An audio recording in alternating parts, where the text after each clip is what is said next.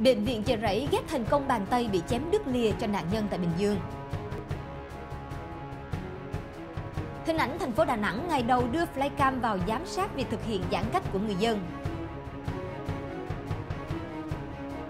Người vay mua nhà đang gồng mình trả lãi ngân hàng và những ý kiến đến từ chuyên gia.